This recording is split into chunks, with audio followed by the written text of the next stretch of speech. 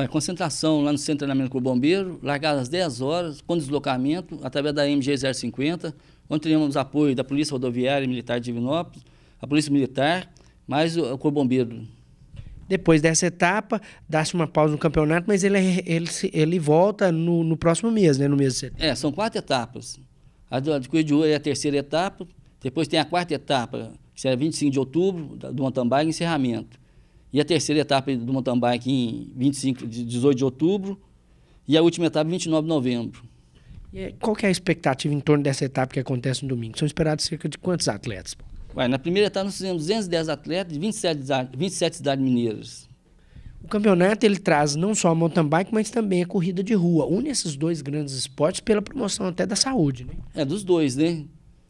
É, ele faz é divulgado, né? intercalado a corrida de rua com a mountain bike. É um, um cronograma de eventos que tem entrado para o calendário esportivo de Divinópolis. Né? É, já é o terceiro ano, desde 2013 nós voltamos, quem? Nós fizemos 2013, 2014 e 2015. Esse ano estamos aí de novo. Quem quiser participar ainda pode se inscrever? A inscrição termina quarta-feira, o valor é 50 reais. Quarta-feira encerramos as inscrições.